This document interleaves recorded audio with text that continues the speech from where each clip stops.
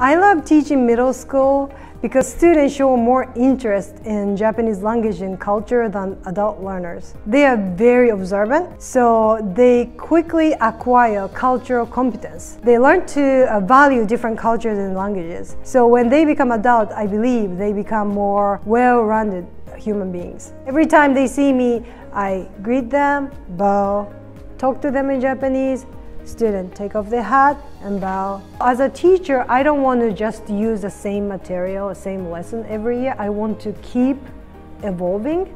I love working at MPUSD because Monterey is so diverse. It's so rewarding to see students in this particular district growing as a, like international, multicultural human beings.